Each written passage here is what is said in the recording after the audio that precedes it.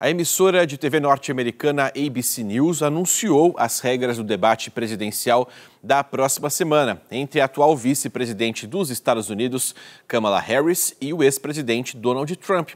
Beatriz Puente ao vivo tem todos os detalhes e Bia, tinha todo o um impasse envolvendo, né, como seria a relação candidato-microfone. Foi resolvido isso? Conta pra gente. Boa noite. Boa noite, Casa Grande. Olha, foi resolvido sim. Os dois lados concordaram que os microfones serão desligados quando o oponente estiver falando. Ou seja, a equipe de Kamala Harris cedeu e resolveu aceitar as regras do debate. Mas a emissora garantiu que, caso o adversário esteja falando algo relevante, esses microfones serão ligados. Mas, né, claro, os moderadores vão repreender qualquer e todo tipo de interrupção. Além dessa questão dos microfones, eles também concordaram que não haverá público.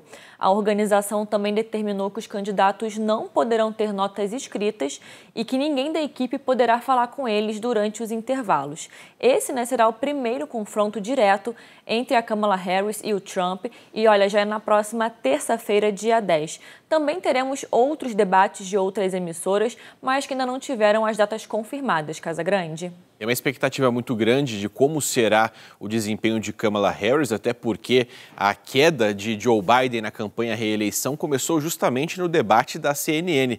Ele foi extremamente mal avaliado, foi extremamente criticado até mesmo por integrantes do próprio partido, e a partir dali começou o questionamento né, se Joe Biden deveria ou não seguir na campanha. Então agora a pressão em cima da Câmara é bastante grande. Por outro lado, Donald Trump também uh, quer entender como vai ser esse embate né, entre a atual uh, vice-presidente e ele. Vai ser um conteúdo que a gente vai acompanhar, vai com certeza ter muita repercussão e, é claro, a Bia vai ficar de olho para contar tudo para a gente na semana que vem. Obrigado, Bia. Até já.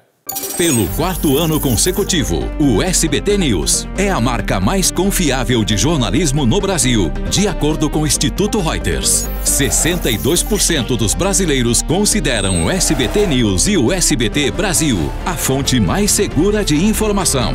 Além das reportagens da TV, com o SBT News você tem acesso a conteúdos exclusivos quando e onde quiser.